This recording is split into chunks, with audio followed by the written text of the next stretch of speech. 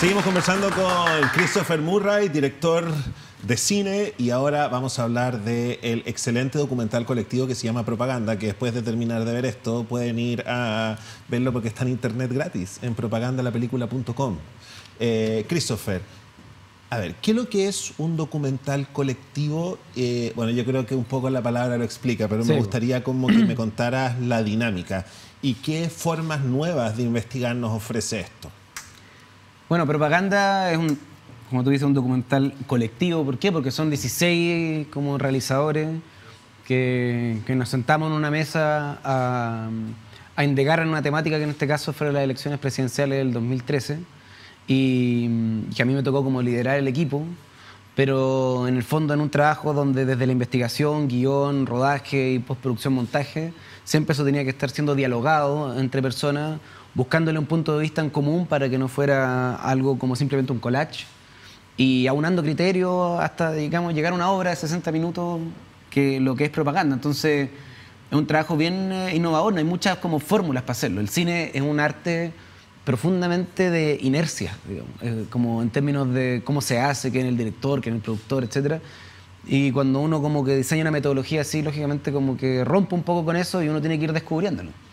Y propaganda fue eso, pues igual fue un experimento que corrió un riesgo mientras se estaba haciendo en el sentido de decir esto no lo vamos a terminar, esto no tiene pata como ni pie ni cabeza en términos como de estructura. La dura. Sí, heavy. O sea, me acuerdo mucho como momento de decir como...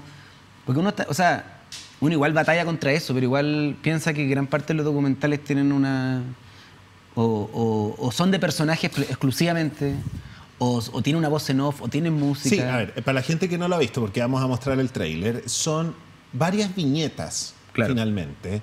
Son varias viñetas. La cámara es como este género que los gringos llaman la mosca en la pared, como si la cámara estuviera en un lugar donde nadie sabe que está. Exacto. Son unos bueno, la fotografía es preciosa, yo no sé mm. cómo lo consiguieron, porque son, son como son cámaras de este deportivo. Y al igual como tú cuentas que el Cristo ciego es el backstage, ¿no? De el, otro lado de esto, de esta bonanza económica y esta destrucción económica que ocurre en el norte, esto también es como el lado, no quiero usar el lado B, pero es como el lado B.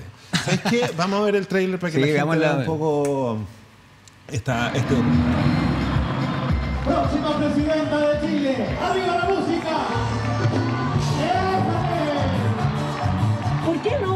un presidente de, abajo? ¿Por qué no un Torreja? Y si tú quieres, Chile cambia. Hecha, gracias, maravilloso. Yo voy a ser presidente, sí, y para ganarle al sistema. Y no es necesario andar marchando todos los días. Si a ti no te van a pagar por marchar. La política no es de los que están allá arriba. La política es de todos nosotros, lo estamos haciendo en la calle Porque no sirven los calendarios. Pues. Voy a votar por la, por la Matei porque, porque es rubia, güey. La Marcela se coló. Tranquilo, papá, tranquilo. Está colada, Ahora sí pierde la pobre va a decir, ¿qué conseguí con abrazar y besar a tanta vieja pobre? No pueden vivir con 200 mil pesos. Es imposible vivir con 200 mil pesos. Señora Bachelet, yo tengo magíster en economía, porque con su bono de 40 lucas tengo que llegar a fin de mes.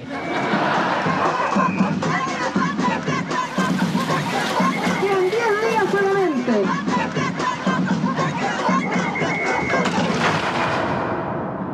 Así que le quiero pedir el voto para el domingo. ¿Ya? Muchas gracias de lo mejor que he visto este año, te lo juro. Esto de poner a 16 personas que pusieron sus cámaras en un millón de lugares, incluso de repente hay una sala de clases donde les empieza a molestar la bulla de esta propaganda. Sin embargo, ya en su primera toma, el documental es increíble porque está esta imagen del desierto, ¿no? Muy calmado y aparece un auto enfermo ordinario con esta canción de Michelle Bachelet como interrumpiendo todo, ¿no?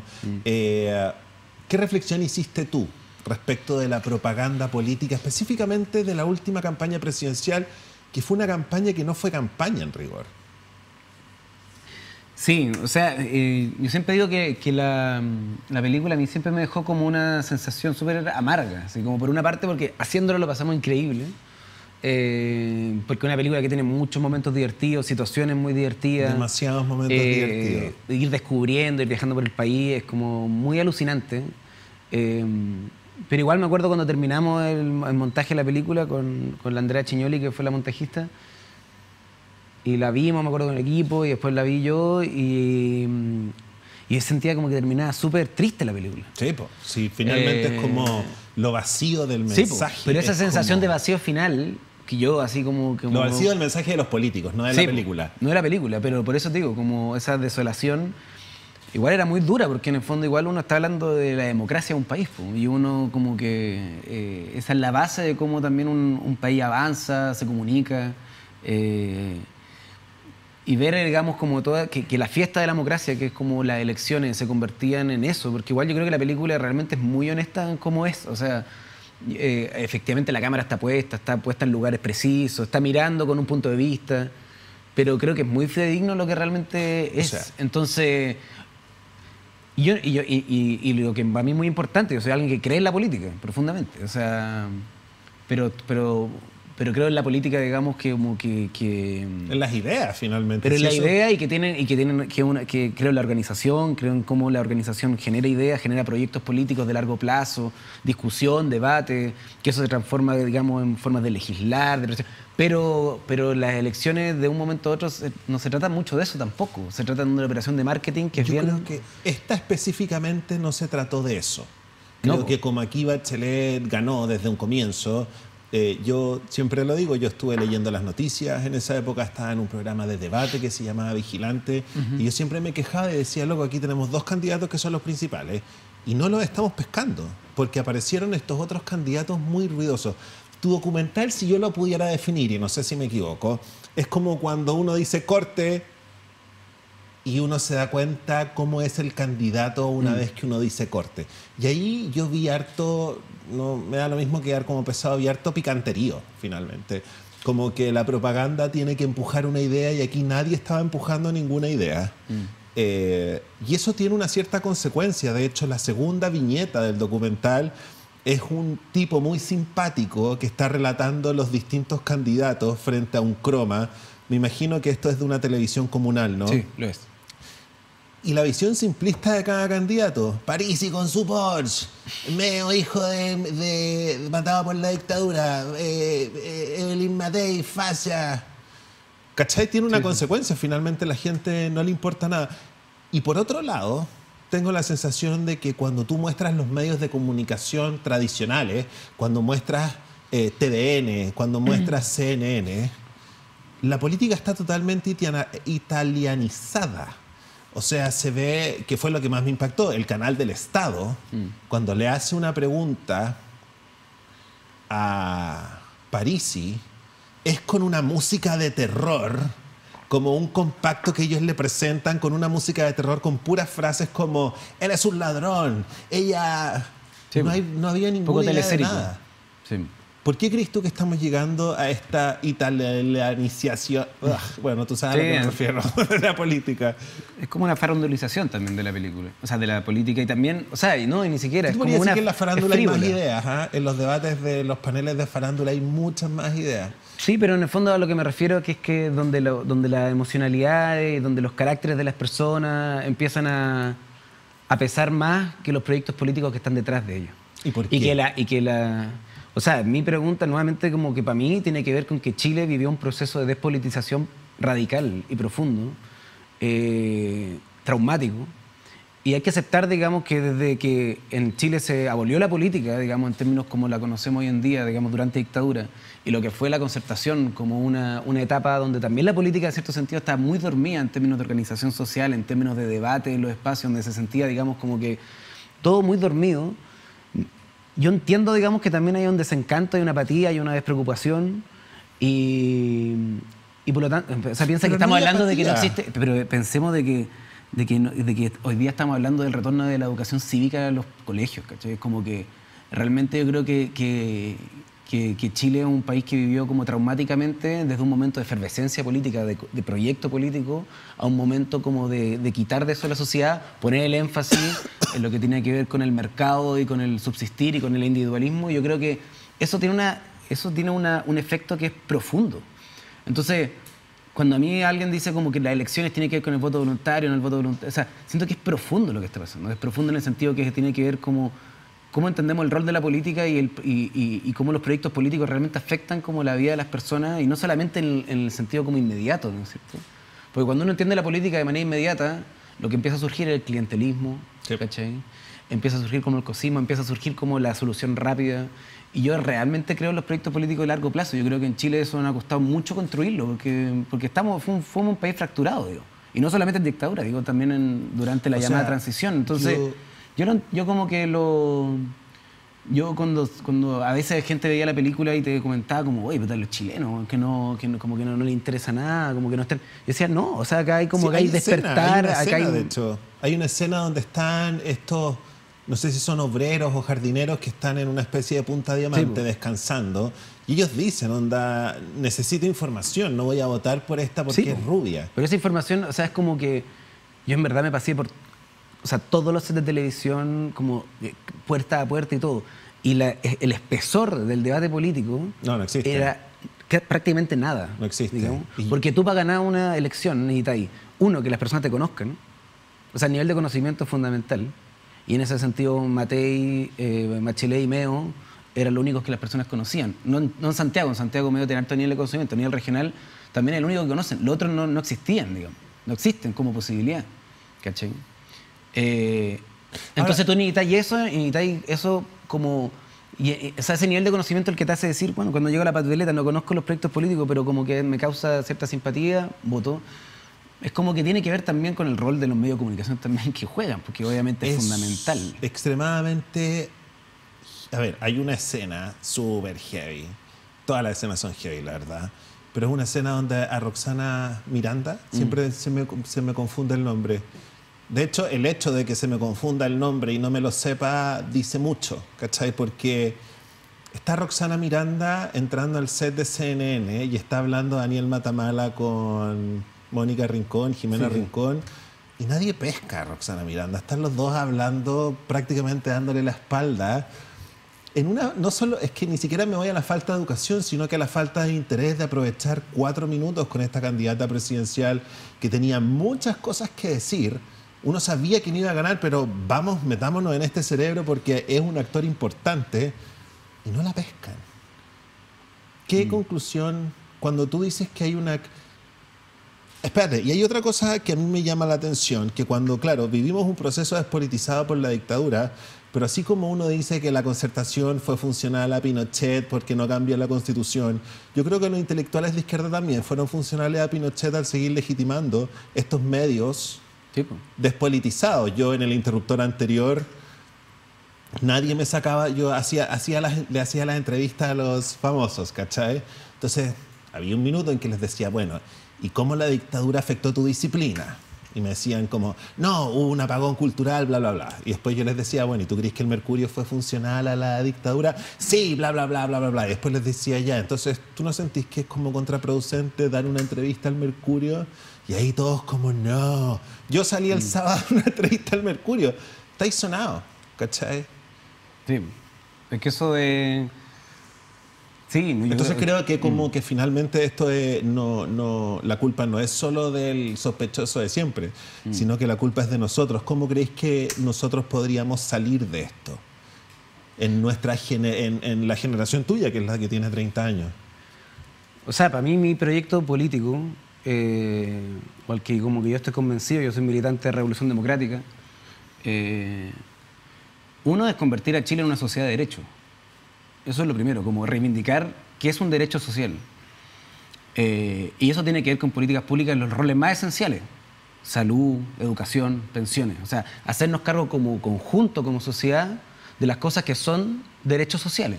Que por nacer en Chile tienes derecho a tenerlo. Y eso implica un esfuerzo colectivo de ponernos de acuerdo para que eso sea así. Y no de manera subsidiaria, sino como un derecho fundamental que tú lo, lo tienes por el hecho de nacer en este país, ser parte de esta comunidad. digamos.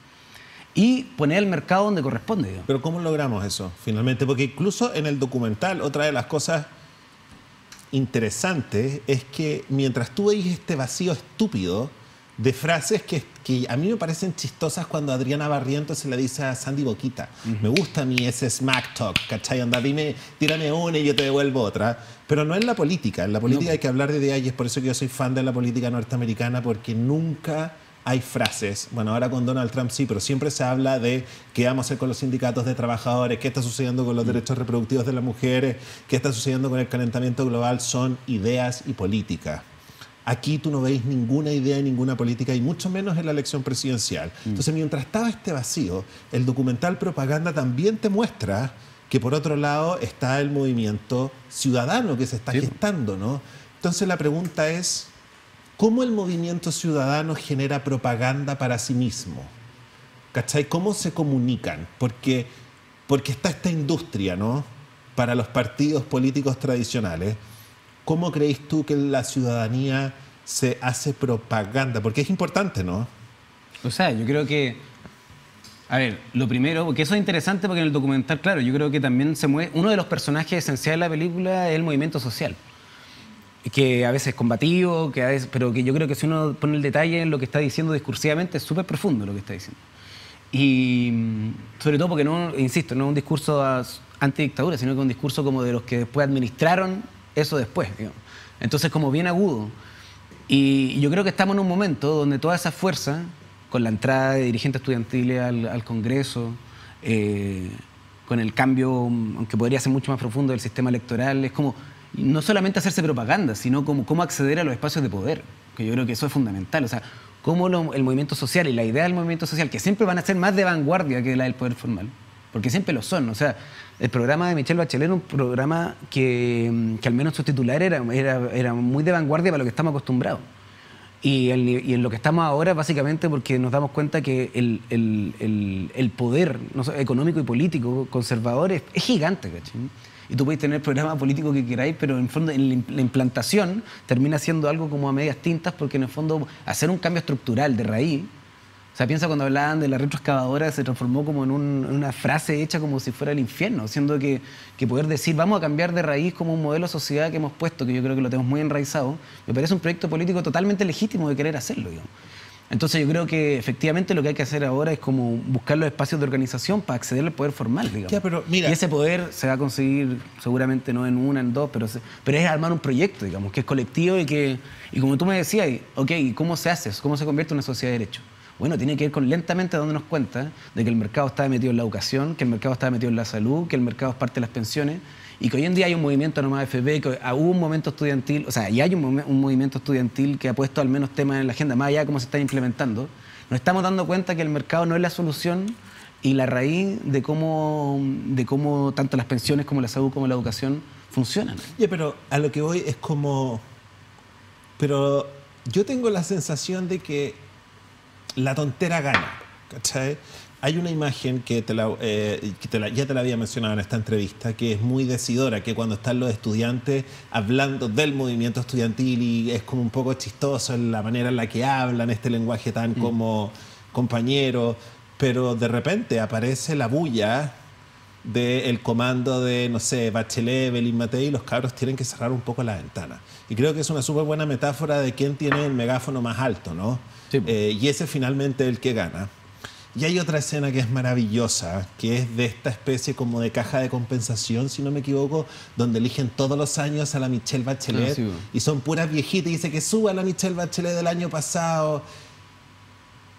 Y tú te das cuenta de que finalmente Bachelet en términos de propaganda, si lo quería, en términos como fisiológicos, era una más de ellas. ¿Me entendí o no? Las pobladoras se sentían que incluso en términos físicos eran ellas. De hecho, puede haber un concurso en una oficina donde todos los años puede ganar una distinta. Pero tú decís, ¿y por qué esa mujer trabajadora no se identificó con Roxana Miranda? Si Roxana Miranda estaba ahí. ¿Cachai? A Roxana Miranda no la miró nadie, ni siquiera cuando fue a CNN.